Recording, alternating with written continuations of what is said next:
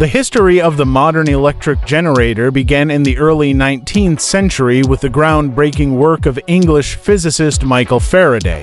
In 1831, Faraday discovered electromagnetic induction, the principle that a changing magnetic field can induce an electric current in a conductor. Based on this, he built the first simple electric generator known as the Faraday disk or dynamo.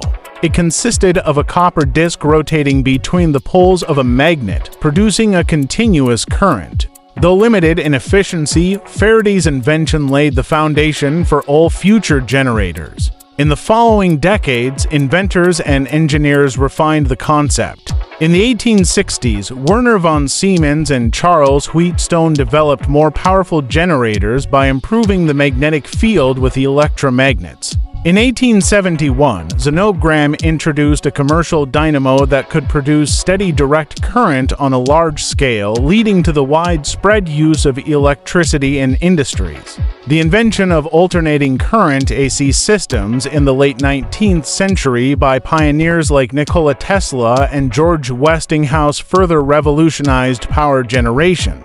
AC generators' alternators became the standard due to their ability to transmit electricity over long distances. Today, electric generators powered by steam, water, wind, or gas turbines are vital to the global power grid.